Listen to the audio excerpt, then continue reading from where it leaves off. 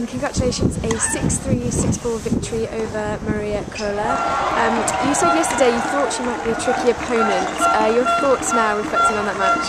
Um, yeah, she was a very tricky opponent. Um, being a lefty, um, she's a pretty big, strong girl. Um, and yeah, she hit a pretty heavy ball, so she didn't give me too much rhythm. Um, and it's actually quite breezy here too, so um, that was a little bit tricky. But I managed to soak up her pace um, and make her play that extra shot, and um, I'm pleased to, to have got the win. It must be very pleasing to win that very first match of the uh, first tie of the competition. Yeah, very pleasing. I mean, you know, it's always an honour to play Fed Cup um, and represent Great Britain here in this competition. And you know, it was Judy's first Fed Cup match uh, too. So um, overall, I'm just pleased for the team and um, I'm pleased with my performance.